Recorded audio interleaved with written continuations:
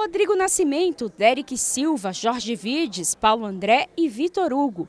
Esse é o Quarteto Fantástico, que na verdade é composto de cinco atletas do Brasil, que foi campeão mundial do revezamento 4 por 100 masculino, no estádio de Oklahoma, no Japão.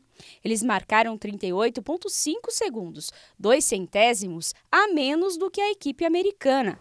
Os atletas, que são integrantes do programa Atletas de Alto Rendimento, criado em 2008 pelo Ministério da Defesa em parceria com o Ministério do Esporte, receberam os cumprimentos do ministro da Defesa, Fernando Azevedo, pela grande conquista. Do resultado realmente fantástico. Né? Se a medalha de ouro nesse Campeonato Mundial de Revezamento é inédita, isso vem coroar um trabalho feito pela Confederação Brasileira, pelos clubes e pelo Programa de Alto Rendimento das Forças Armadas. A maioria dos atletas ali são integrantes atualmente das Forças Armadas, da Marinha, Exército e Força Aérea. Os brasileiros fizeram a melhor marca do ano na categoria. Além disso, o resultado também é histórico por ser o primeiro ouro do Brasil. Foi muito gratificante pelo fato da gente ficar um mês fora de casa, longe dos nossos familiares, dos nossos amigos, mas foi em prol do Brasil e conseguimos conquistar essa medalha.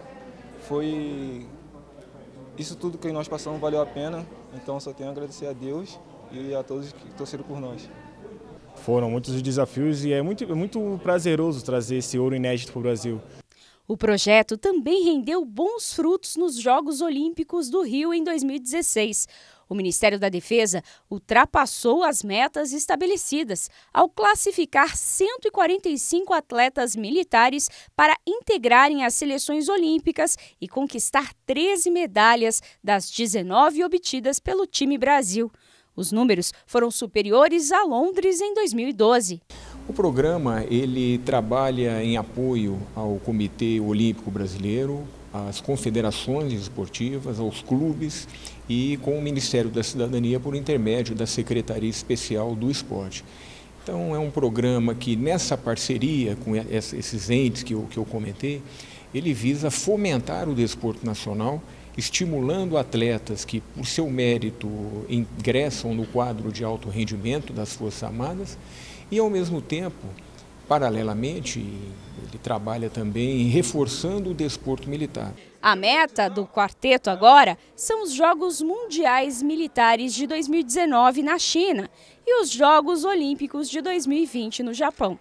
Nós temos nossas, nossos objetivos individual, individuais, porém é, a nossa realidade hoje é o revezamento, tanto que conseguimos essa medalha inédita, então vamos trabalhar bem em cima disso para trazer, a, é, continuar trazendo a medalha no, nessas três competições que são importantíssimas.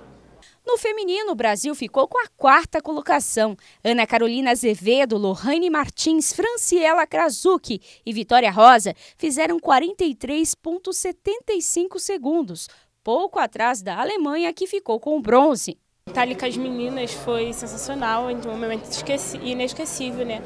Saímos de lá tristes, porque a gente podia pegar a medalha, mas ao mesmo tempo a missão cumprida, que a gente classificou o revezamento 4 por 100 Mundial de Torre.